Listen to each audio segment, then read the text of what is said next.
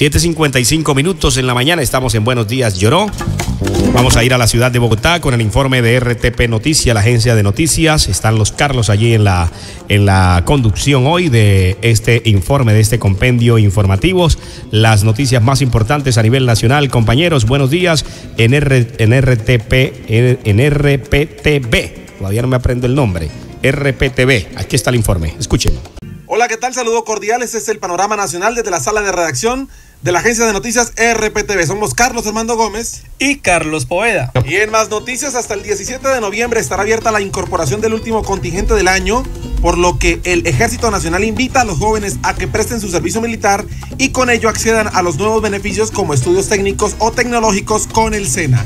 Gracias a la alianza con esta entidad educativa, que se formalizó a través de la ley 1861 de agosto de 2017. Al respecto se refirió el director de formación profesional del SENA, José Darío Castro. Vemos que vamos a poder participar con temas como TICS, cocina, eh, eh, mecánica, que tienen una demanda bastante alta.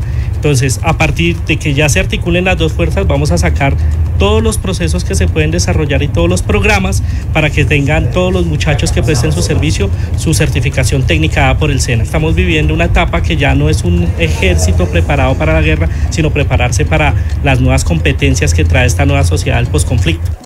Hasta aquí el panorama nacional desde la sala de redacción de noticias RPTV. No olvides seguirnos en nuestras redes sociales como Noticias RPTV. Hasta pronto.